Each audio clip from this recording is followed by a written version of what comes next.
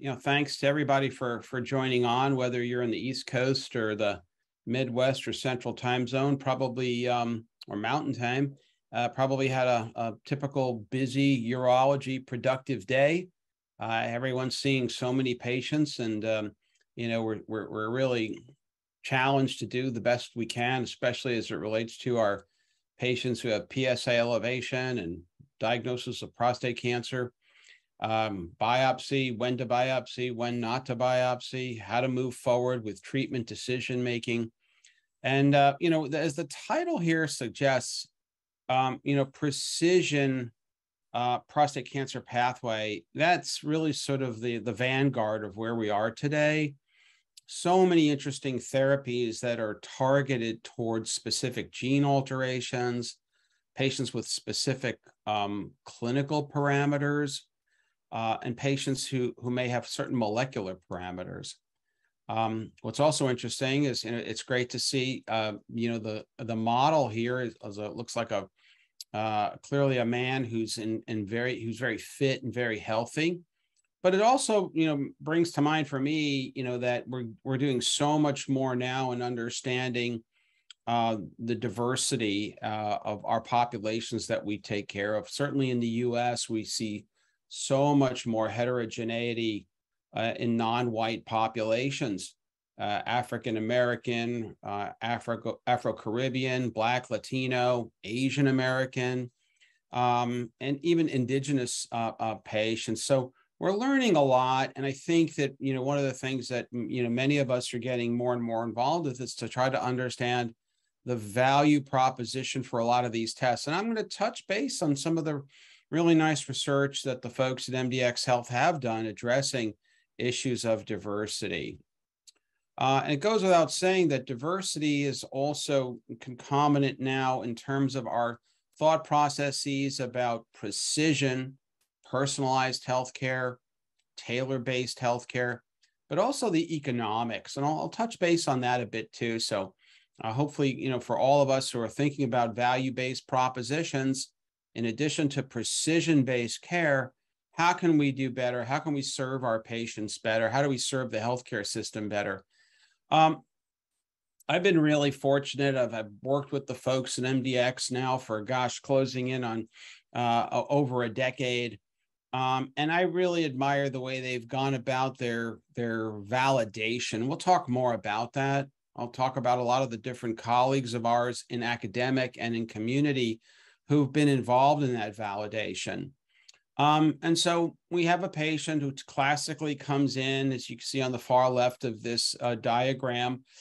Uh, you know, they come to your office every day, your clinic every day, you know, sent in by a PCP or someone, or maybe an, uh, a work that you're doing during prostate cancer screening. They have a PSA test. What does that mean? What's normal? Is it age dependent, volume dependent? Of course, it, it is what's the what's the criteria for proceeding forward to biopsy or to not biopsy?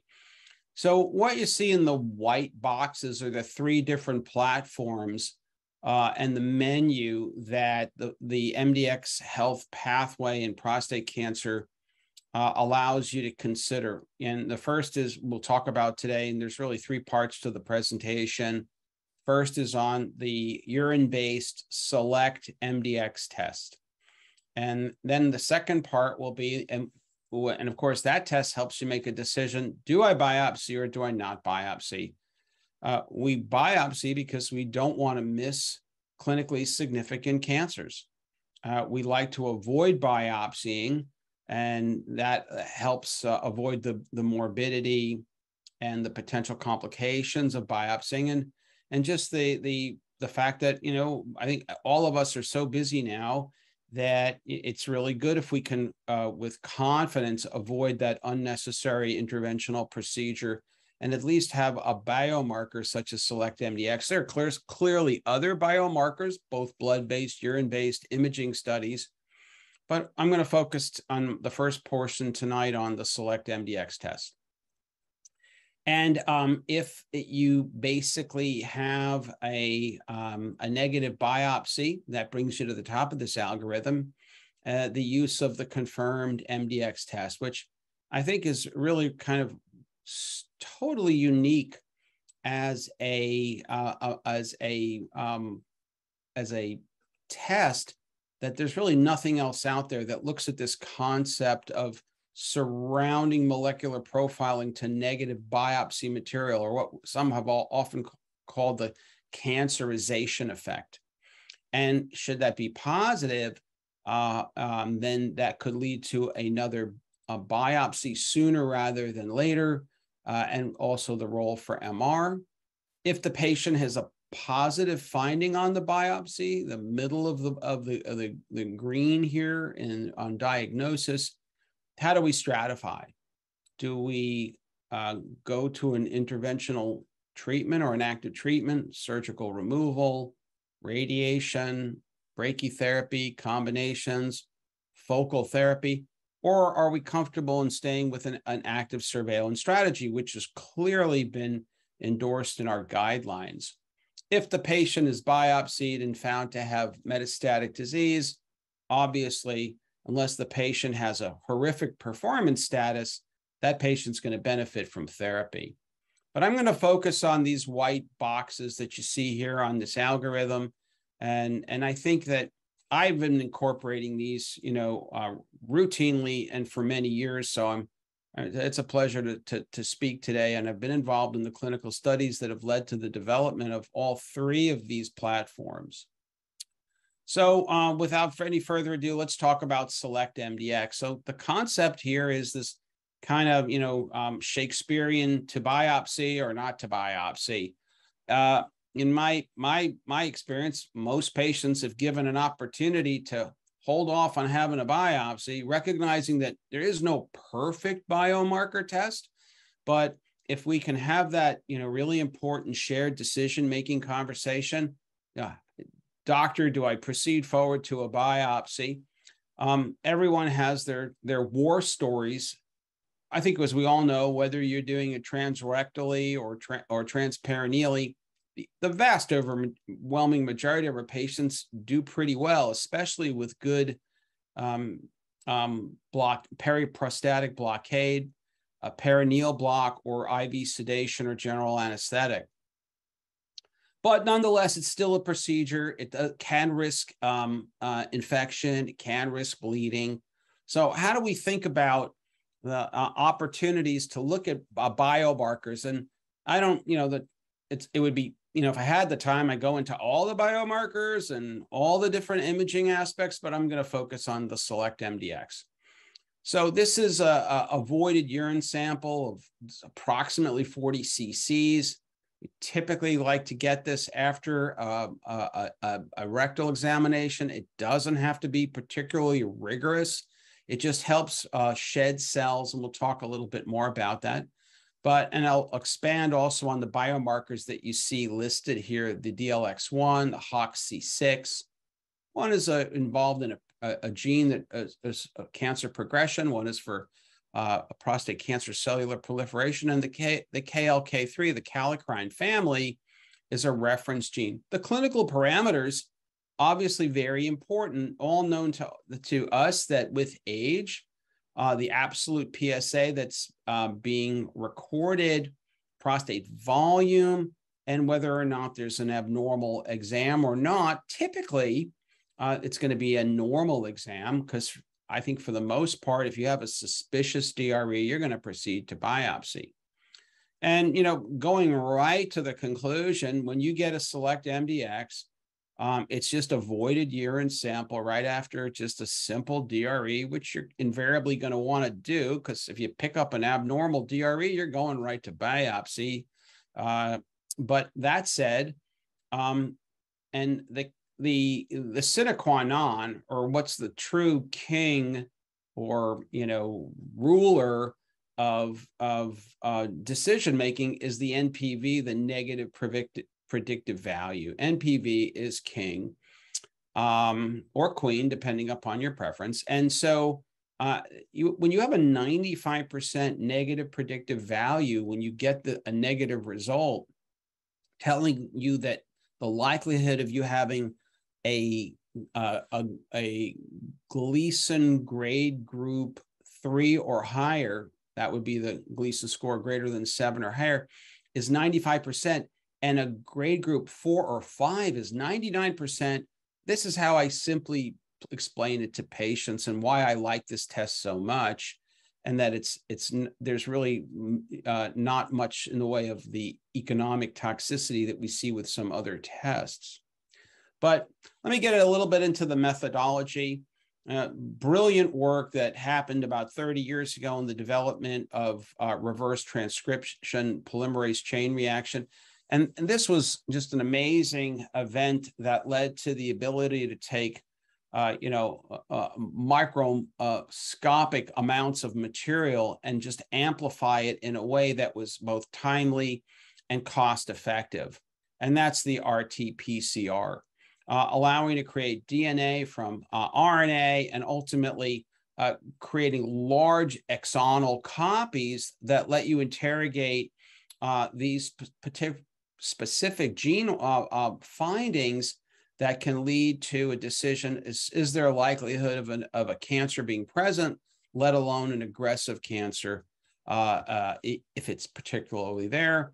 I think most of us would agree that uh, grade group one, grade group two, predominant Gleason six or three plus fours with minimal amounts of pattern four are very good patients uh, for avoiding potentially even to get the biopsy. But then, even if you find the biopsy, and we'll talk about this more with um, uh, uh the uh, third portion of our, our conversation tonight, which is the uh, the, the Oncotype DX finding, which really helps you stratify. But sticking to the select MDX, let's get into a little bit more of a, an association or explanation for the HOXC6 and the DLX1 and the KLK3, which is a reference gene. Without getting too much into the weeds of the, the, the basic science, uh, we know that, you know, one of the markers that helps us is epithelial cell proliferation or the, the rapid proliferation of adenocarcinoma cells, which is a typical hallmark of almost all neoplasias. Um, and then if you can you know, demonstrate a decrease in a cell death or classically called apoptotic effect or apoptosis, this is also consistent with normal aging. So how do we use this information to help us better define uh, um, is somebody who has a, a, a, risk of having malignancy and should have a biopsy or not? Well, there's data, and clearly it was developed that an increase in the Gleason score, the aggressiveness of histopathology and uh, uh, and TNM staging was consistent with these two gene alterations, particularly high um, HOXC6 expression Patients have a shorter overall survival compared to those with a lower expression. I'm going to show you um, graphs on that in a second. And it's actually one of the most upregulated, upregulated genes in the HOX gene family. You probably have also heard of HOXB13, which is uh, has a predominance in patients of um, uh, uh, who typically have Eastern European, Ashkenazi Jewish um, uh, uh, um, background. I've actually found HOXB13 in, in non-Jewish patients, so probably speaks to their, you know, crossing over of lineage. But HOXC6 is one of the most upregulated, and it's really predominant. It can be in primary as well as increases dramatically over the, the, the progression of the biology of prostate cancer patients for with metastatic and then going on to resistant disease. And, and here's looking at the mRNA levels. Remember, we use PCR to amplify mRNA to DNA findings and that construct. And here's the, the HOXC6, and when there's no prostate cancer present versus um, a grade group one versus greater than a grade group two. And these are, as you see, the p values here less than 0.001. So they're um, highly statistically significant. The expression goes up the more aggressive disease, the higher the grade group score, which helps you identify who needs to be biopsied and who should not be. Likewise, the DLX1 gene expression is uh, it has to do with an interface of epithelial and neuroendocrine differentiation. Um, neuroendocrine differentiation, which you oftentimes almost invariably see with small cell uh, variations, um, neuroendocrine features, but even in the more aggressive grade group threes and fours, uh, and look at this number here. In one particular study, uh, was virtually 99% of patients had uh, this expression compared to uh, zero of seven who did not. So it was this finding, and this was published in uh, earlier in 2016 that led to these uh, additional combinations. Here again, a highly statistically correlate of grade group two and higher versus grade group one for patients with the mRNA levels of DLX1. So I, I, like this table. I'm going to show it to you again as we move along in the personalized pathway of the of the MDX uh, products that we're going to talk about. Um, time doesn't allow me to go through all of these studies, but it's it's nice to see that there really is robust evidence in select MDX. There's a lot of biomarker work that's out there.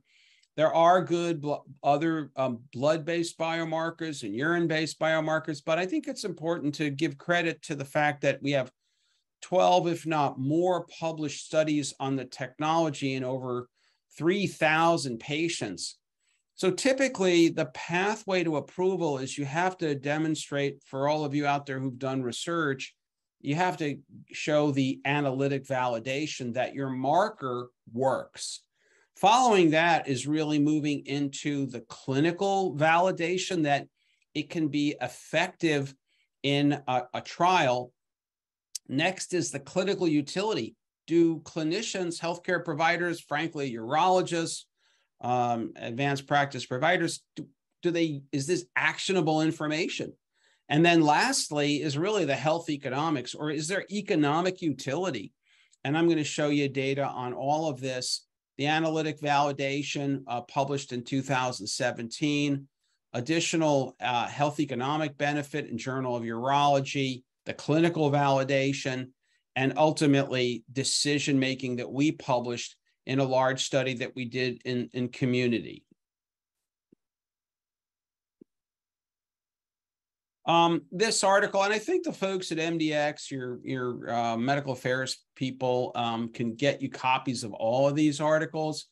Uh, the bottom line here, you probably recognize a lot of the authors on the on a lot of these papers that I'm going to um, go just briefly go over. But bottom line, when you have a normal digital rectal exam and you basically look at the area under the curve where the high the closer you get to one it suggests perfection. But when you have uh, in all and all uh, all patients who had you know basically in this particular study of nearly a thousand patients where it was documentation of normal rectal exam in in in more almost three quarters of the patients and ultimately, you see a sensitivity, a negative predictive value of 95%. That's really where you could take this information and say, look, Mr. Smith, Mr. Jones, we just did this urine based select MDX test. And I'm going to tell you with, with 95% likelihood of being accurate, you don't have a grade group three or higher um, malignancy. And that's really in a nutshell how I use it. From a cost effectiveness standpoint, and you know, I think all of us are recognizing that even though we're still in a volume-based healthcare system, we will. Uh, we've been talking about moving to value-based healthcare. It's certainly much more prevalent in places such as in Kaiser Permanente and the Geisinger Clinic. Um, right now, uh, it's an area of, of constant controversy, but I do think it's fair to say it's always important to, when you can look at data, nice paper published here. Matt Resnick has probably worked with a lot of you. You probably, all, a lot of you know Laura Saba and, and Tim Govers. But what's nice here is, is the bottom line is that uh, there's a cost savings here uh, that can be rather dramatic in, in avoiding unnecessary biopsies and the likelihood of missing a significant cancer is really extremely low.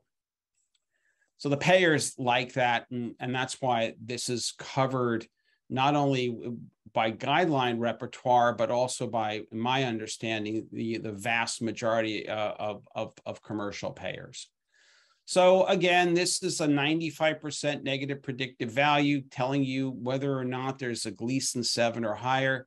If you have a negative test, it's 99% that you're not going to miss a grade group four or five. And those are really the patients that you feel most worried about missing. Um, it's not to say you're going to practice um, watchful uh, uh, waiting in terms of their PSA kinetics. No, you'll repeat the PSA maybe in six months or a year, uh, but you can avoid a biopsy. And, and honestly, I, I've yet to find a patient who says, uh, after getting this information, no, I want to proceed to a biopsy. It, it's as, as we all know, uh, no one really would would like to to move forward with that. It's a rare patient who says no, just go ahead and do it. And there could be examples. Somebody super young and, and fit, maybe they have a worrisome family history. But even that patient, when I get a finding such as a a, a negative report, uh, you know that somebody is very low risk uh, with these kinds of findings, I don't proceed to biopsy. I tell the patient, well, we'll see you back. Depending upon that conversation, it could be six months to a year, and we'll repeat a PSA and a digital rectal exam. But uh, the Select MDX test can also help you identify the people who have cancer that need to be treated. And oftentimes, these are the patients who come into your office and say, oh, you know, every I read that Wall Street Journal article. Uh, you know, my PSA is everybody has a high PSA and everybody has cancer, and I don't want a biopsy. And of course, we all deal with that. But what we really want to do is we don't want to miss that 19% that has in this particular report that has a, a, a grade group um, three or higher. And, and that's really what it's about individualizing, personalizing, precision based medicine. And this is how I simply explain it to patients and, uh, and, and their caregivers or their spouses or partners who are in the room. And then with that, uh, I usually find that patients are fully understanding and they're much more comfortable moving forward to the biopsy. So um, that's the first part of our three. Then we'll talk about confirm. And then after we talk about confirm, uh, we'll we'll wrap up um, and, and and talk about you know the the the Oncotype DX or what's sometimes called the the GPS score. And I actually like the GPS score, the uh, gen- genomic prostate score. But let me just stop for a second and happy to answer any questions or if anybody has something they want to put into the chat about uh, Select MDX.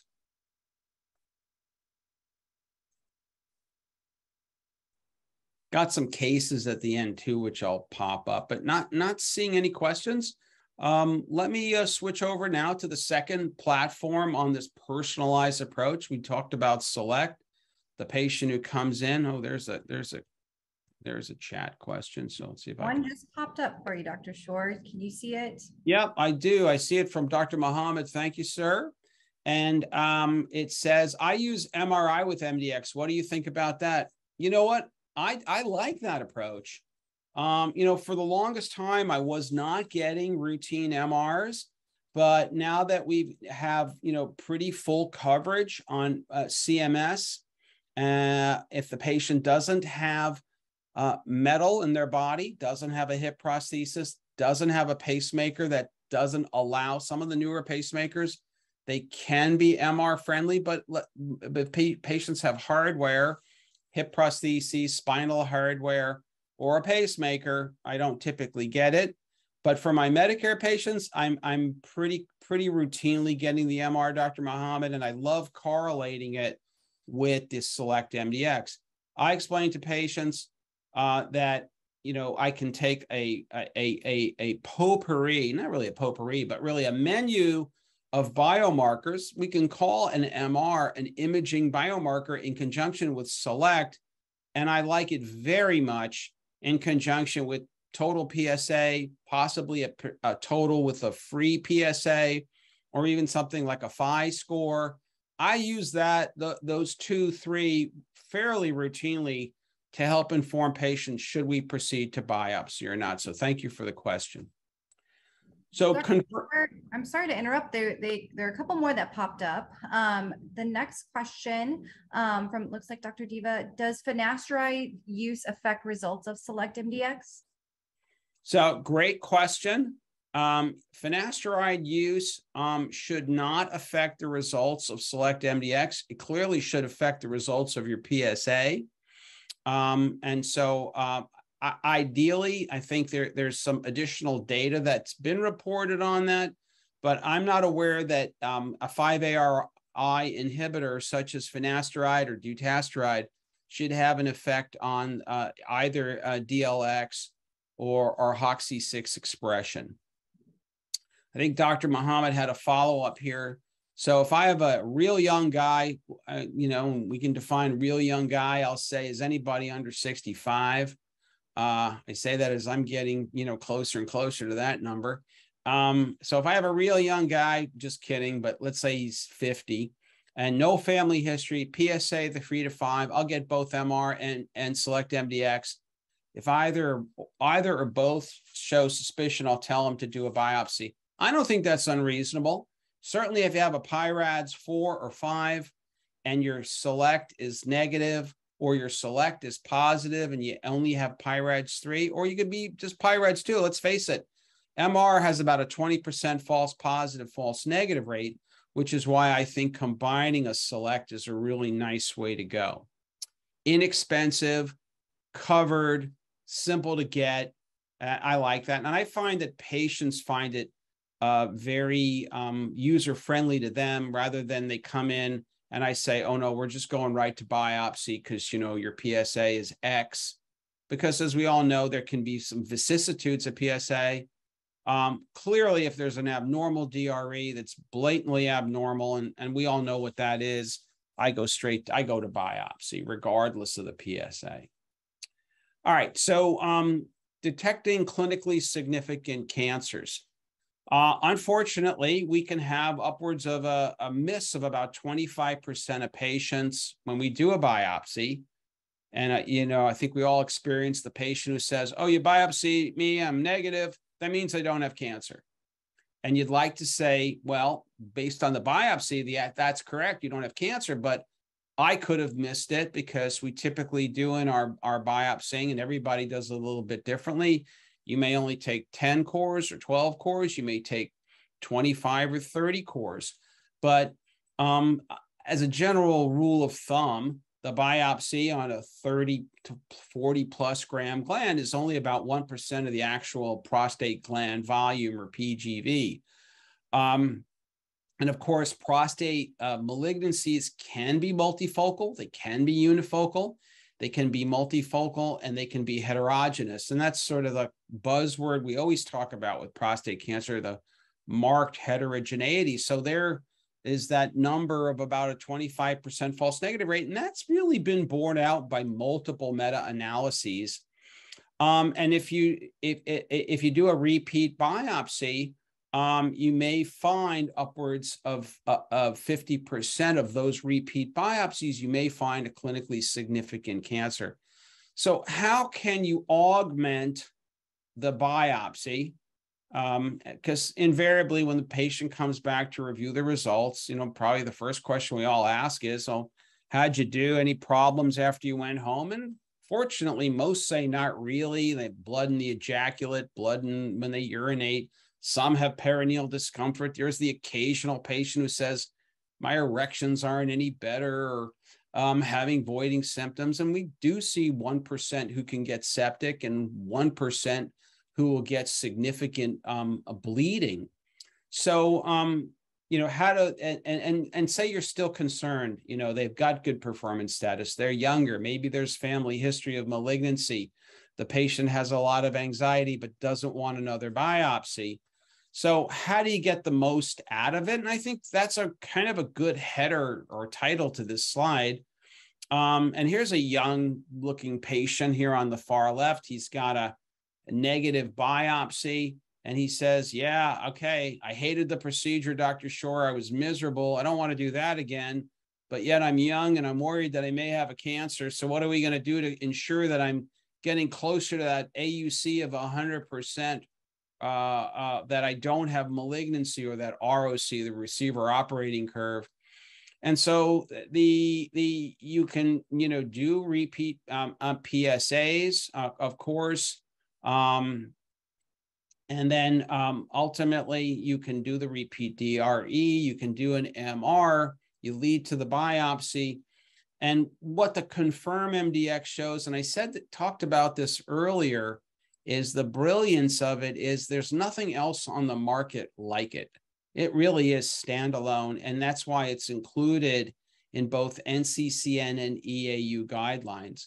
So you're going to essentially take the slides as I described to patients. We're not rebiopsying you, and then they give that sort of woof sigh of relief. Uh, we're going to take your slides and we're going to send them off for what's called a confirm MDX. And what, what exactly does that mean? So um, essentially, there's this notion around methylation, and there's the methyl group, the CH3. And there are epigenetic changes that occur throughout all cancers. And epigenetic findings is a fascinating area of research. Uh, methylation uh, occurs prior to the development of most cancers. And if the genes are methylated, they're sort of they're turned off or they're silenced, and uh, and then they're there we normally have a whole cadre of tumor suppressor genes, but if they're turned off, then the, the gene expression allows for tumor development. So it's been well described. And again, I, you know, it gets pretty, you know, um, heady and into the details of the science. It's pretty fun stuff to read if you like it. But the, the GST uh, Pi 1, uh, which is down there, you see the, the name for it. Uh, really beautiful work by Carducci and others. Uh, and it's found in up to 90% of prostate cancers in an elevated form. Um, it's a detoxifying agent in terms of preventing genomic damage. So these um, um, these CPGs or these CPG islands of hypermethylation really prominently um, um, demonstrated with GSTP1. It's the most common somatic genome, somatic meaning tumor, not germline, not inherited, but somatic tumor alteration described in prostate cancer. And this was really some you know, brilliant work that's published in American Journal of Pathology uh, over 20 years ago now. So it was that finding of and understanding these tumor suppress this tumor suppressor gene, the G, GSTP1, and then APC. Now, the APC has to do with an apoptotic effect and cellular proliferation, and that results in the speed and the regularity of cellular division. And when it's silenced, it's also associated with neoplasia or another or tumorigenesis or production of, of tumor growth. Um, RAS F1 is associated with cell cycle progression and also with apoptosis. The most powerful one of these three is probably the GSTP1. But when you add them together and you get all three of them demonstrating methylation, it's particularly compelling that you could have missed an area of what was described back in the 50s the area surrounding the negative tissue as cancerization or a halo effect. Because let's face it, we're only as good as where that needle goes in and pulls out the core of 1% of the total gland volume. So GSTP1 is found in up to 90% of prostate cancers. Uh, and these are the other, uh, uh, the ACTB is a reference gene to making sure we look across as a baseline subset. So this is a good example. There's the cancer and there's the various uh, halo effects. Some early work was really nicely published on this by Eric Klein at Cleveland Clinic. There's a very nice paper that came out in 2011 in, in Nature Reviews Cancer, which is a very high impact journal. But essentially, when you look at this cartoon, you see the tumor, and ultimately you can see what was described progression in the related field, secondary fields, uh, progression independent of the field. And this is this concept then of cancerization or a halo effect. Doesn't require any additional intervention, one just simply takes the slides, sends them off. Very easily accomplished. And typically the turnaround time of getting the results is about 10 days once the, the, the product is in-house at, uh, at the, uh, at, for the folks at MDX. Now I talked about on Select MDX, how we do this validation pathway very similarly here. You have to have, um, you know, analytic validation. Now, you know, it probably should be more bold. 55 published studies in peer-reviewed journals, over 5,000 patients that ultimately this led to the uh, the analytic validation that indeed this worked. And then you do the clinical validation. Fabulous work by our good friend and colleague Alan Partin at Johns Hopkins. Alan, unfortunately, is is really fighting for his life. He's got you know really difficulties right now, and I don't know if any of you know Alan, but he's a fabulous guy. He's at Johns Hopkins, and he's really kind of uh, in for the fight of his life uh, for um, his health. Um, and and he's been pretty public about it, so I'm not you know betraying any confidences.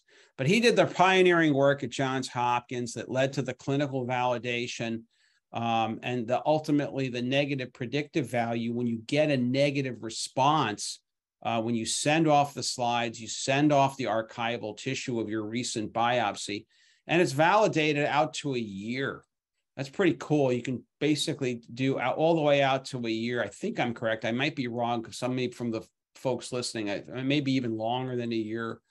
But that's pretty good when you can go back. If somebody shows up at your clinic it's sure biopsy to now they're in your clinic in Ohio and you can potentially send off for a Confirm MDX.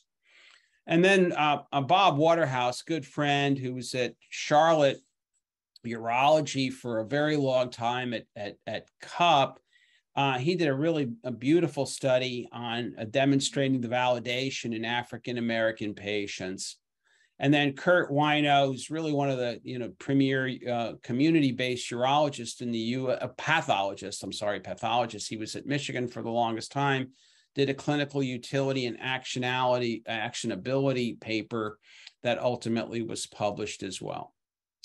And here are these papers. Um, the risk score predicts high-grade prostate cancer in DNA methylation positive. So if you all your methylation markers, the RAS F F51, the APC, the GTSP1, if they're negative, you're great. But if you're positive, then this was the paper that led, and you can see the ROC curve at the bottom demonstrating the, the validation for the confirmed test.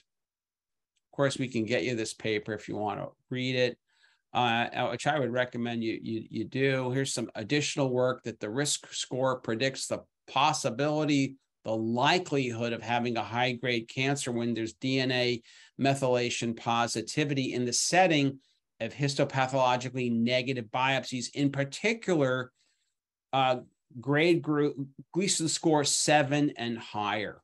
So there you see, in, in conjunction with clinical risk factors, when you have a positive test, this really dramatically in a population that was studied of 800 patients really tells you when you're not just looking at age and not, or if you only were do, looking at age, only looking at a prior bias, positive biop, uh, a prior biopsy or not biopsy, PSAs or atypia, when you have the methylation confirmation, look at the odds ratio, how it goes up literally sevenfold to, to, to 12 fold, which is quite, quite dramatic. And then the clinical validation uh, that was uh, subsequently uh, published by Bob Waterhouse, in an African American cohort of over 200 men, I think is really important. Again, we're do, looking at more and more. Kelvin Moses is on this. Uh, you know, many of you are probably may, may have participated in this. I see Ron Tutrone, other colleagues of ours, V. Schiffman in Houston, uh, Myron Murdock from Maryland. So a lot of good names on here and good colleagues who are very involved in studies like this. And of course, this important notion about um, disparity um, um, and inequity, and and we want to have you know uh, equipoise for uh, all of our patient populations. And as as the U.S. continues to diversify, it's good to see because most of our studies still uh, whether they're therapeutic or biomarker driven, diagnostic, imaging, still tend largely to be predominantly in white populations. And I think it's a very, very important effort that all of our guidelines and all of our associations and, and all of uh, uh, device companies and biopharma is moving towards in, in greater inclusion, which is which is great. And this has been done here for Confirm MDX. So if you have a positive result, you get your individual score, and the score basically says, okay, maybe now I get an MRI, maybe I go to a repeat biopsy. And I think this is just again giving a really nice opportunity to personalize healthcare. Be be that, you know, that vaunted and important patient physician shared decision making. Here's a patient who has positive across the, three methylation markers. And what's really cool, it's I'm sorry, it's small print here, but it's saying, you know, um, left mid. So, so not only does it tell you kind of where to go, um, but it also um, tells you that you have the, these three marker positives. So that tells you that you have a 12% risk of, of, of identifying a, a Gleason 7 or higher and could potentially help you with a repeat biopsy and really go to your region of interest and focus in on that lead left mid zone. And that's how I explained it to patients. I show them the report. They seemingly always get it. If you're DNA methylation negative, I say, this is fantastic news. And I've kind of dropped you down from missing 25% of patients. Um, uh, I can do this conversation via telehealth or in the clinic. But now I say, look, you have a negative report, you're 96% negative predictive value, and a 90% of any form of cancer. So that would be more likely the, the inclusive of the grade group ones and twos. And then it makes me and the patient, I think, a lot more comfortable in saying, okay, great. Um, let's check a PSA maybe in six months, maybe a year. Uh, and we certainly don't have to proceed forward with another biopsy. If you look at some papers and some guidelines, and that's always the big risk. When do I bring a patient back if I feel that their PSA is at is high or their doubling time was concerning relative to their age and their gland volume. So that's basically how I've been using it. Uh, I get it routinely in all of my negative biopsies. I really like it. It's reassuring to patients. I'll see them back in a telehealth or in clinic. And then I have the opportunity, if it's positive, I may just follow them more closely with PSA and DRE typically would get an MRI if I hadn't got one already, and might even go right to an earlier biopsy within a six month time frame, especially if there was a lot of methylation positivity. And that's how I've been successfully using it. So um, let me stop there and talk about, um, you know, answer any questions uh, regarding um, you know, Confirm MDX, been out for, gosh, cl- closing in on like almost 10 years, I believe, or, or close to it. Um, any questions on that before we go to the GPS or the genomic prostate score?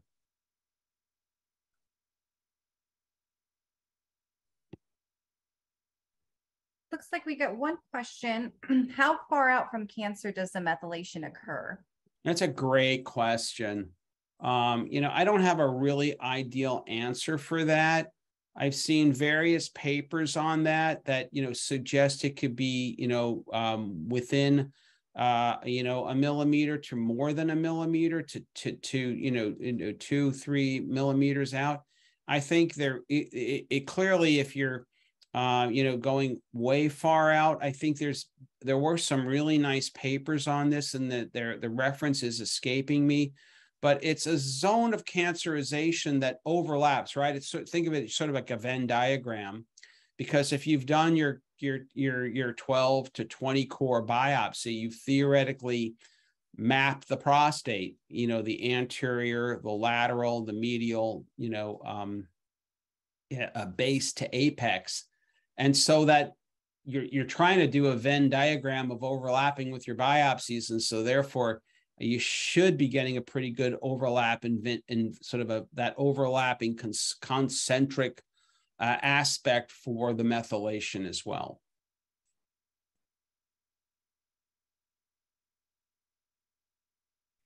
All right, so let me go into uh, GPS. Uh, I think uh, I congratulate the folks at MDX. I started working on the, the you know uh, GPS back in the day when it was uh, being developed by Genomic Health, and Eric Klein was at Cleveland Clinic, and it was really he. We did a lot of work together on this. Uh, in addition to the folks out at UCSF and Peter Carroll, and then uh, Genomic Health uh, um, uh, uh, was acquired by Exact Science. And now I'm really thrilled that MDX has brought it into their portfolio. Uh, I think it's fantastic. I mean, it really allows to have that really cool first slide, uh, which I can just kind of go back to for a second. It really gives you this sort of powerhouse for having um, a, a full comprehensive menu uh, and, and, a, and a precision uh, approach to how you would think about uh, your patients with uh, uh, two Huda biopsy, and then if it's negative, to confirm that you you've you've done adequate sampling. But now, when you get to the GPS, you've got a diagnosis of prostate cancer. We have this ongoing controversy. You know, do I do a prostatectomy? Do I perform uh, external beam radiation? Do I perform focal therapy? Do I perform brachytherapy? Or do I do active surveillance? Um, you know, genetics and genomics. Uh, genetics, the study of hereditary traits and organisms it can vary. There's genetics or gene alterations that come inherited from your parents, the the the um, egg, the ova, and and the sperm. Um, those are described as germline or hereditary, and then there are somatic alterations or tumor tumorigenic alterations that happen. Uh, and so uh, you can see these definitions here. I know you're all you know familiar with it. Um, there are coding and non-coding DNA with the various epigenetic factors. Uh, but the genome encompasses the complete genetic information of an organism, whole genome sequencing, as opposed to doing panels or hotspots. Um, so some other definitions um, we talked about, I just mentioned a second ago, issues of germline that are inherited. Um, and we find that about uh, uh, 5% of patients in the population have gene alterations. About 10 to 12% will have gene alterations who are newly diagnosed, especially those with metastatic cancer. And by the time you have resistant disease, upwards resistant prostate cancer, upwards of 30, 25% of patients will have gene alterations coming from the tumor.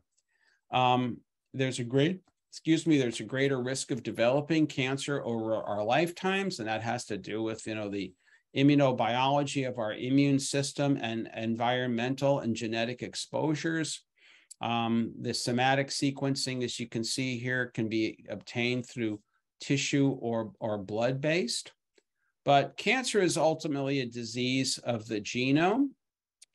Um, we see various ways that we have gene expression. So if you have an abnormal gene expression, um, particularly um, the as that increases, that has there's really excellent data, and we'll go over this that increases the likelihood that you would have worsening pathology or an upgrading of your histopathology that was only limited to your biopsy that showed cancer.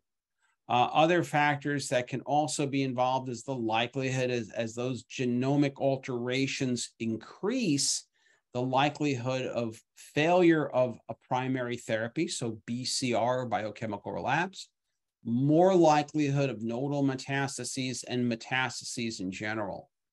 So let's take a little bit of a deeper dive. We do a, here are the factors that we look at both lab and clinical. Well, of course, an abnormal DRE, it is subjective. Um, you know, I, you know, we, we, we try to, uh, for all of us who have medical students or residents come, work coming through our clinics, um, you know, is trying to teach, you know, what's normal, what's abnormal. And there is subjectivity and there is variability. We all know this. We have it even amongst our peers as clinicians who are seasoned uh, with doing thousands of rectal examinations. Some are blatantly obvious and some are just more subtle. Um, elevated PSA, again, related to vol- gland volume, related to age. Was there any sort of trauma, whether there's sexual experience or um, uh, excessive, you know, bicycle riding or other sort of perineal um, um, traumas? Uh, and the use of 5-ARI, whether it's been uh, used regularly or every or not well recorded, but of course 5-ARI will, as general comment, reduce upwards to 50% of the PSA um, uh, amplitude. MRI, again, also not a perfect test, 20 to 25% false positives, false negatives. The PIRADS 3 is a considered intermediate lesion, ones and twos, benign, fours and fives, highly consistent with a significant malignancy. And then, of course, the the the the um, operator or the interpreter variation. We see this in MR. We're now seeing this in PSMA PET scans as well. Uh, perhaps with artificial intelligence, that'll be improved, but that's a separate topic. And then the issue about biopsying, you know, do we adequately sample? And of course, the same operator variability we see with radiology and MR, we can see with pathologists as well. I'm sure we've all on this call have had that experience where someone called something ASAP or Gleason 6 and another pathologist said, oh no, that's a, that's a Gleason 8. Uh, or even that Gleason 6 didn't even call it cancer. So there are variations, and thus the importance of getting additional information. Um, you know, undersampling, um, it's an ongoing, it's an ongoing issue. Some of us will may be comfortable doing 12 core biopsies routinely. Some may be comfortable only doing, you know, 24 cores. It's a bit all over the place, but you know, at the end of the day, I think the standard um, biopsy should be at a minimum 10 to 12. Um, there is now a greater movement away from transrectal to transperineal. Transrectal is still certainly acceptable. Transperineal, I think, gives you a little bit better tissue sampling because you're parallel to the prostate gland. And data is pretty convincing that it cuts down on the infection risk. You do have to be comfortable in doing a transperineal block and you and or have I either you know anesthetic with IV sedation or general anesthetic. And that depends upon your setup, if you're doing it in your clinic or an ambulatory surgery setting. Um, biologic undersampling, that's where, because we know that biopsy is not perfect and we may not be getting uh, the uh, we may we, we may have missed a Gleason eight or nine and only captured the six or seven.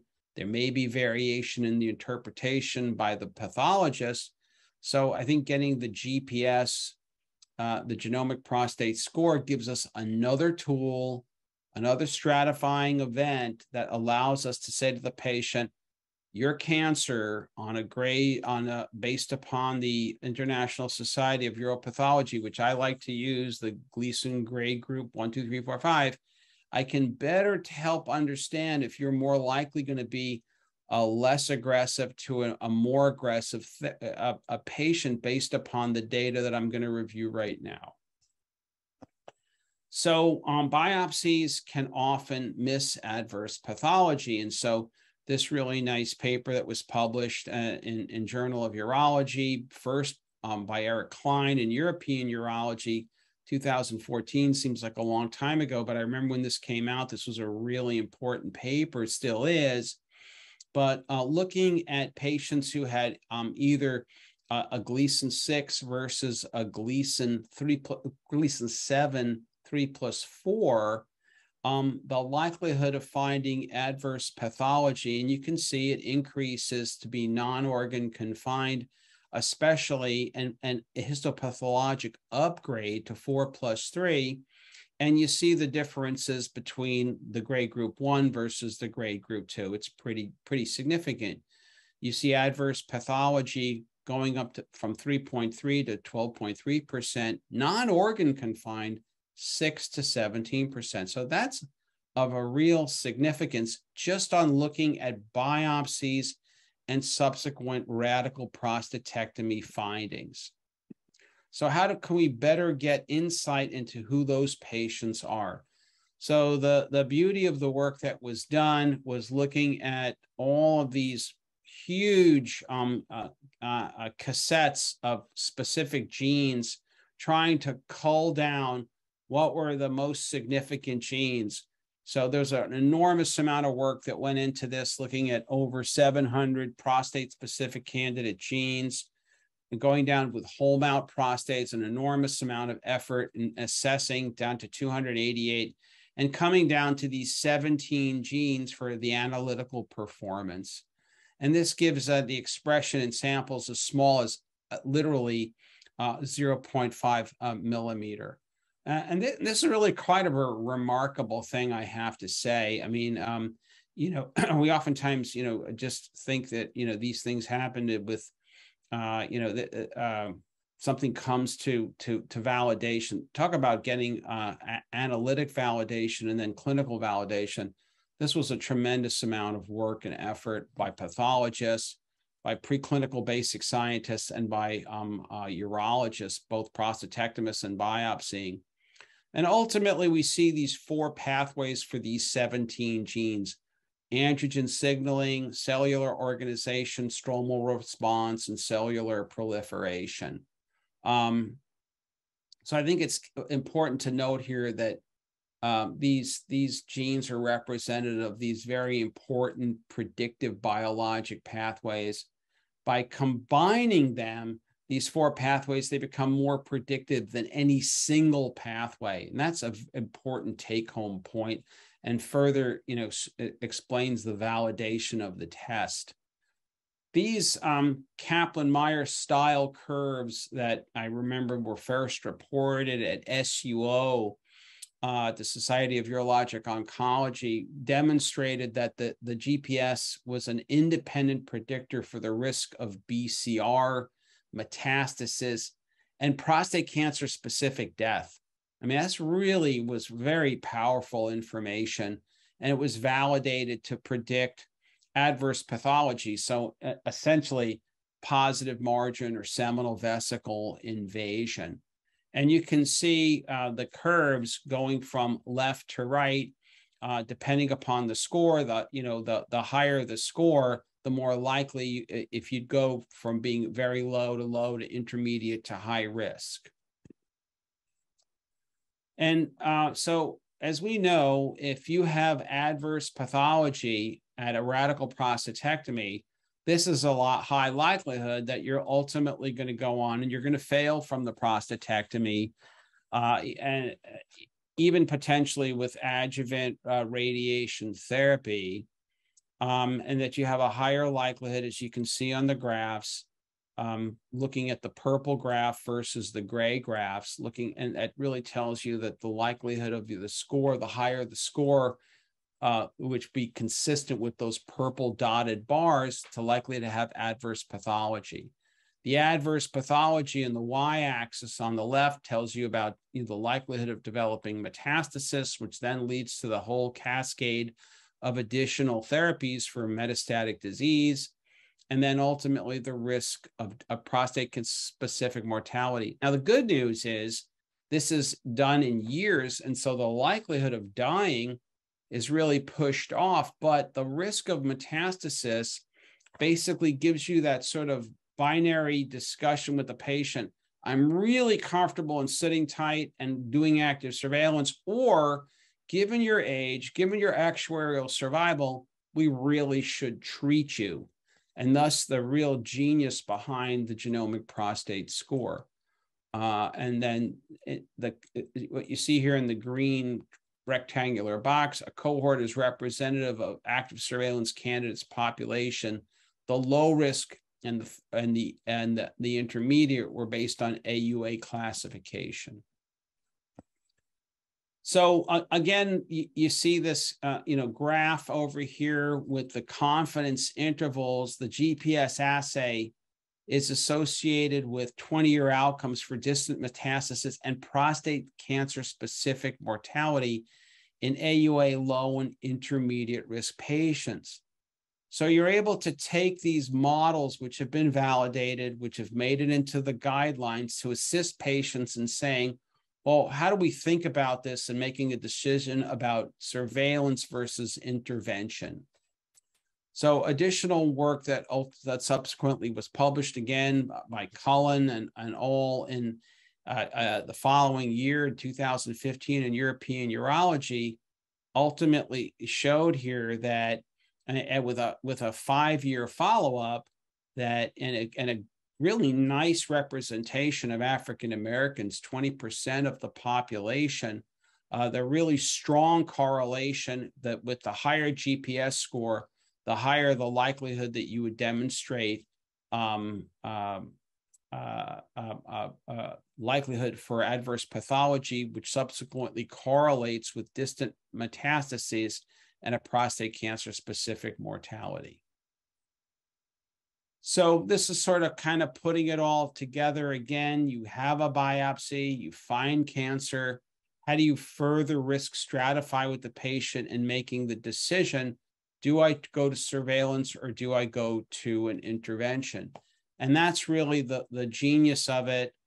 If you convert this now to patients who have very low, low, or favorable intermediate, so the grade group ones, twos, uh, by NCCN criteria, and you get a GPS result between zero and 100, this is how you get to decide, or not to decide, but the patient ultimately decides, but you have the discussion to help make an understanding of do I proceed to surveillance or do I go to an active treatment? And I think this is a really an important slide here. Matt Cooperberg published this in JAMA uh, others have published similar results. Mark Delara, uh, Del, Dell'Ara is in Texas, Dave Albala in Syracuse. Ben Lowentritt presented this at LUGPA in 2017 from uh, Chesapeake Urology. But what you're seeing here, Greg, you're at Urology of Virginia, is that by using the GPS, you see a versus no GPS in the dark gray green bar. The light green is the GPS. You see uh, a marked increase in your patients to go on to active surveillance. Uh, and and this is you know uh, the type of thing that you know we got into a lot of controversy over back in 2000 right was the USPSTF was saying don't do any more screening because everybody getting a diagnosis of cancer was getting rushed off to a prostatectomy or radiation and we recognize that the histopathology is not perfect. And that's why with the GPS score, um, you can further help delineate those patients who have the, the, the, the low risk, the very low risk, the favorable intermediate, say, you know what, something's not right. Your GPS score is really high, or, or guess what, your GPS score is really low. You are really well suited for surveillance, or you're better suited based upon your performance status, your actuarial survival, and a high GPS score, uh, I think we should be considering interventional treatment, so surgery or radiation. But it, uh, ultimately, it's giving you that sort of broad breadth of conversation to make what's personalized healthcare decision, which is the kind of theme of this talk.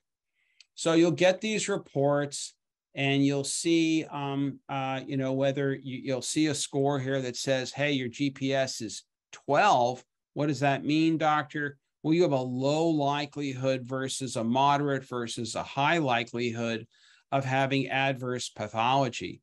So in the in this particular example here for this patient, um, the, the GPS score of 12 has the likelihood that they could have high grade disease, a, a grade group three or higher, or 12%, not organ confined 10%. I immediately tell the patients, so there's an 88% chance that you don't have higher grade, higher grade disease. If we did a prostatectomy, there's a 90% chance that you're organ confined. And the likelihood of you having met- metastatic disease is 4% in 10 years uh, and the likelihood of you dying of cancer uh, is less than 1%, we're still going to follow you. And you can still end up, uh, you know, having in a small percentage of cases, uh, uh, increase in your in your histopathology, and then we could still treat you. And I, I find that this is enormously helpful for patients Because let's face it, they get the diagnosis of cancer, they hear the C word, and many patients walk out of the office and the proverbial comment is they feel like their their hair's on fire, but indeed they're not. And this is giving them that additional piece of information to make a uh, an appropriate decision. And so here is uh, another example of uh, a low GPS score, which would help you uh, and better inform a patient who has a, here in this particular case, their PSA is five. They have a normal digital rectal exam. Um, this patient, you know, so he was born in 1965, so he's still relatively young. I use this in my patients even in their 50s. I, I'm I am comfortable in doing active surveillance in patients in their 50s, explaining to them that over time that there's a with time there may be um, change in the biology of the cancer, but if I can give them 10, 15 years where I'm not going to upset their urinary or their or their uh, sexual function, and I'm still going to follow them and may do you know repeat biopsy, may do uh, repeat MR, not may, assuredly I will in any kind of an active surveillance program. But, uh, and I explain that to the patient. But, you know, it's very interesting. I, I, I see still many patients who are like, you know what, um, you know, take my prostate out or radiate me. But that's just me. But at, at least at the very, at the very minimal, you've had an opportunity to further create this sort of personalized precision based care with your patient and they can't say, well, geez, that Dr. Shore, he just rushed me off to surgery or to radiation, but gave me some options. So, um, so it basically this is sort of a build slide that's the likelihood of high grade disease, non organ confined, likelihood of metastasis, likelihood of dying of a prostate cancer specific death uh, at the end of 10 years. And I go through each one of these parameters and explain it to the patient. Just just like that frankly. So um i got a little bit of time here. Let me run through a few cases. I totally want to be respectful of everybody. We started at seven. We're a little over an hour we'll try to get this you know wrapped up there these are some pretty cool cases won't go into them in extreme detail but they're kind of fun to see because they, we see cases like this every day all of us who take care of patients with prostate cancer so here's um, a 62 year old white male. He's got a family history of prostate cancer, family history of breast cancer. Um, germline testing is done and it's HOXB 13, which HOXB 13 is not a homologous recombinant repair alteration, but it does have a very high likelihood of cancer. And it also oftentimes has a more aggressive cancer associated with it. He's so he's a youngish guy. He's he's he's biopsy. He's Gleason six. PSA is high on the 9.5. He's a normal exam. Seven cores positive out of 15. Um, and there's three, uh, he's got a, a PIRADS three in, in a region of interest, it looks like. Um, and so um, uh, a, a, a GPS is obtained. And uh, here the patient is found. I think this will build. There we go. It's a build. So he's a 32. So maybe this guy was saying, you know what, I, uh, you know, I, I, I, I, I don't, you know, no, everybody dies of prostate cancer. I don't want to get treated. And then he doesn't really buy into the HOXB 13 thing you explained to him, or maybe you didn't get that genetic test. But then you just simply get the GPS score because you're you're you, all you have to do is um, send the slides. Easy to do. It's not additional um, biopsying. It's the material you already have. The turnaround's about a week to 10 days. And so the combination of this patient's clinical features and gives him a score of 30 and his and his 32 score says he has a nearly 20% likelihood of having a higher grade disease and a 24 or one in four likelihood of non organ confined or a PT3. So uh, the physician's post GPS uh, assay recommendation is to go to prostatectomy, whereas earlier it was okay, you know, uh, we just saw Gleason 6, it's grade group one, we're going to go with active surveillance. Maybe the patient was leaning towards it. But now you have this GPS score, which says, you know what, I think you're, you're, here's what your risks are of high grade disease, of non organ confinement. And this patient went on to have a, a, a prostatectomy and was a, a PT2. Fortunately, nodes were negative. Here's another case, little older gentleman, 66, African American, has a biopsy for a PSA of 4.5, normal exam, Gleason score six, um, three out of 12 cores positive, greater than 50% tumor involvement? No. Thinking, okay, we're going to do active surveillance. But you know what? Maybe his daughter or son is in there and saying, oh no, you know, I, you got to take it out. I know a guy who died of prostate cancer. He needs to be treated or radiate him. So then you get the GPS score, and it's a little on the high side. Just like the last case, his high grade disease risk 20%, non organ confined 26%. But all right, so now it differently here, rather than the patient who said, I don't want to do anything, and the maybe the family members were like, yeah, you got to do something, children, because they want dad to be around uh, forever. But instead, now the the the decision was to go with a, a post GPS assay. Um, let's just follow you more closely, and maybe that allows for reassurance to the family and the probably less so the patient in this scenario that I'm painting, but more so to his children. We're not going to ignore it. We're going to check your PSA. Maybe we'll follow up with an MRI and then we'll follow up with a biopsy sooner rather than later. But at least this gives us additional um, metric to review. So here's another case younger person, younger man, 54, family history positive, Gleason 6, PSA 7, high for a 54 year old, six out of 15 cores positive but still by definition, he is low risk NCCN. MRI shows a PIRADS 4. Um, given that he's grade group one, physician says, you know what? I've read the literature. I think we can go ahead. Your NCCN says you're grade group four, you're you're you're low risk. Let's just keep an eye on you. And then we get the GPS score, and lo and behold, it's 42. It's basically saying there's something else going on here based upon those 17 genes, the four different pathways that we looked at. And look, a, a, a, almost a 40% likelihood of non organ confined disease. So the post GPS recommendation is now for surgery, and the patient is, is, a, is a PT3A. Well, what about somebody who had favorable intermediate risk?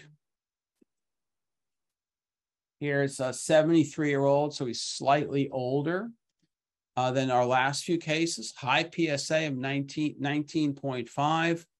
One out of 15 core is positive, and it's uh, it's favorable intermediate by the because of the higher PSA, not because of the histopathology. And pre GPS, the physician says, "Let's just watch you," and then we get the the then but again, maybe the the the patient's anxious, the, the partner's anxious, um, the children are anxious. Maybe you had a friend who died of prostate cancer, and now you get the the the post GPS score, and it should give you the reassurance that there's a uh, 82% likelihood of having low grade disease and it, uh, uh, an 81% of it being organ confined. And so you can go with a an active surveillance and reassure the patient. Uh, and this was this patient's GPS of 25. Uh, and this is how I explained it to patients, and that their risk of uh, uh, prostate cancer death at 73 is, is 1%. Uh, when patients hear those numbers, I think they go, okay, I get that. And I, and I said, we're going to continue to follow you. There's always a small risk that you could have evolution of your biology, but we're going to keep an eye on you. So here's another case 67, Gleason 3 plus 4, grade group 2, 6.4 PSA, 8 of 19 cores positive, physician says, okay, let's assume we're going to do focal therapy because everything was on the left side of the gland. We're going to do a left gland hemiablation. Um, but they get the GPS score and bam, it's it's higher than we had expected. It's a 33. And so the risk of adverse pathology is 51%. Um, and the 10 year likelihood of metastasis is 7%. And this informed the patient to say, you know what, uh, I'm not going to do the folk, or the physician maybe said, you know, focal therapy may not be the in the cards here. Let's go ahead. Let's do surgery. You're in good health. You have good actuarial survival. So let's proceed to prostatectomy. So these are just examples of how you can use the information. Um, I think they're pretty good real world potentials. Um, 64 year old, Gleason 6, um, PSA 11.4, um, that and a, and a normal exam, three out of 12 cores. He's favorable intermediate by the NCCN risk because the PSA was above 10. Uh, the pre-GPS is saying uh, with the conversation, physician shared decision making, let's do active surveillance. But bam, look at that GPS of 47 and you can see the per, uh, risk of adverse pathology of 68%.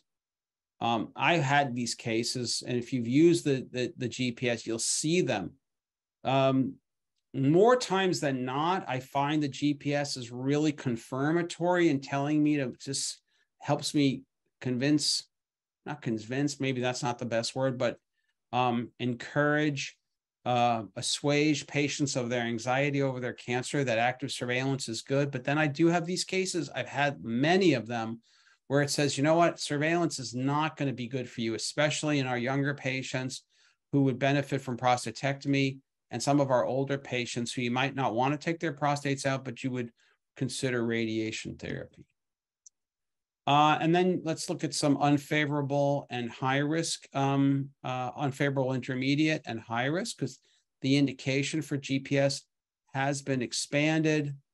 Um, and this can further stratify what you see here, patients. This is an, a, a, nice uh, article that um, uh, uh, looked at um, in 2020 was published and looking at uh, BCR, biochemical, biochemical recurrence-free survival in a couple of hundred patients at Kaiser Permanente. Um, these were all patients who'd had radical prostatectomy.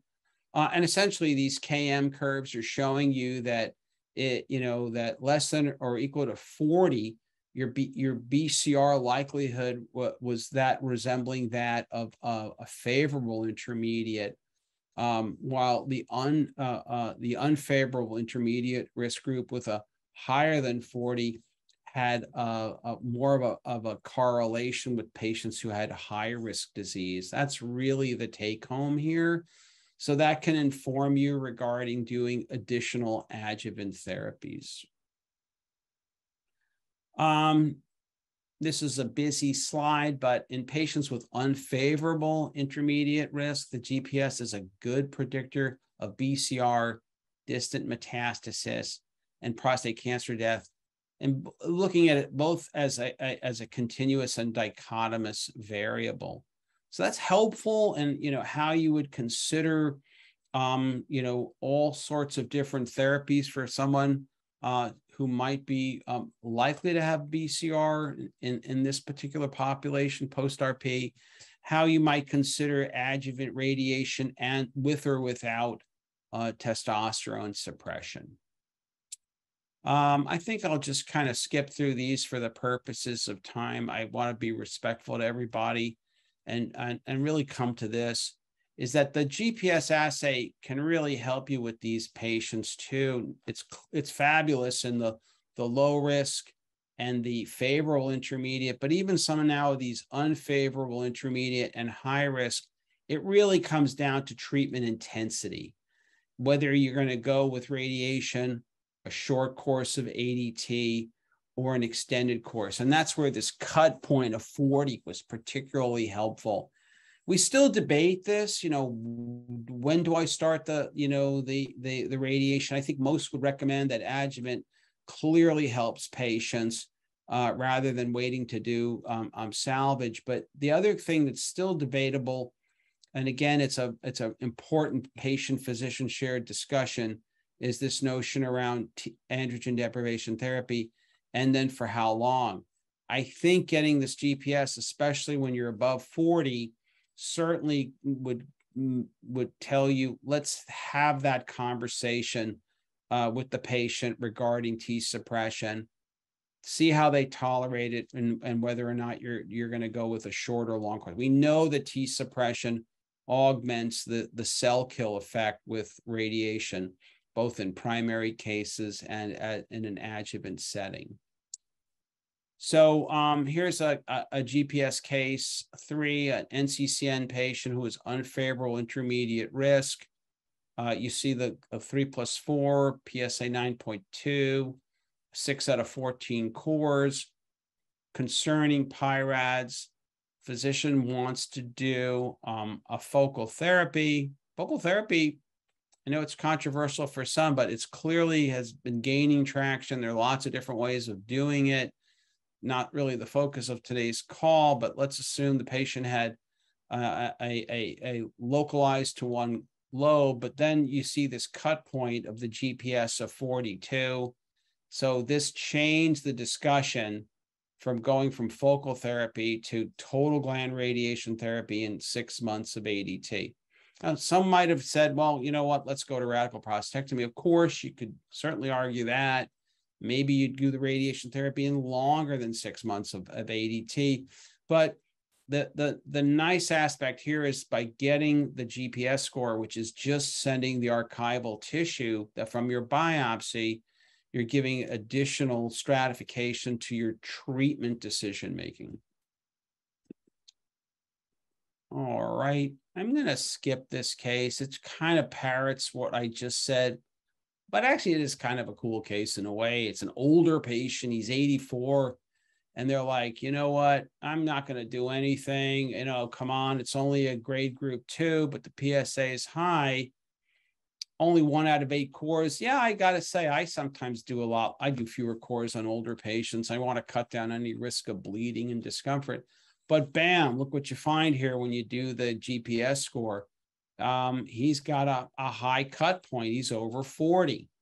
And so, and if he's got a good actuarial survival, I'm sure for many of you, there are days when I'm in my clinic where, you know, a young patient I'm seeing is in is in their 70s I'm seeing more and more patients in their 80s, and I used to, you know, blink them and say, "Wow, you're in your 80s now." Now I see lots of patients in their 90s. We have better cardiovascular um, support, better nutrition, exercise. People are living longer, and this notion of nihilism for an 84 year old, um, you know, they can sometimes benefit. The, the, the biggest increase in can- prostate cancer mortality is by each advancing decade. Um, so this is a good example of where you get this information and you can share this with the patient, his his partner, his family, and I think that helps uh, for better informed decision making. Yeah, here's where you see the the numbers here with you know a 73% likelihood of a BCR on if surgery were done, 10 year risk. Um, and so this is this could be the patient who, who you can get living well into his mid 90s. So, in summary, um, GPS um, previously, and the, the uh, other companies called it the Oncotype DX. I think the genomic prostate score, the GPS, is really an ideal acronym and way to say it. The genomic prostate score gives you really meaningful, actionable information on the biology of the disease that is independent of clinical and histopathologic and even radiographic MRI findings. Um, for lower risk patients, it can really help in decision making of surveillance versus immediate therapy with curative intent. And for higher risk patients, it can help, you know, ADT uh, uh, uh, or not, as well as ADT with or without testosterone uh, suppression. So with that, it brings us back to the you know beginning slide. Um, you know, we can, you know, look, use these three platforms, the select MDX, the confirm MDX, and now the GPS score to help you uh, create a sort of a, a- an algorithm, a pathway, a protocol in your clinic, uh, you know, uh, to help your diagnosing when to biopsy, uh, how to confirm the findings, and how to ultimately stratify for treatment decision making. So uh, with that, I think we're, you know, just a little bit under uh, our 90 minutes. So let me stop and thank everybody for for tuning in and I'm happy to answer any any other questions.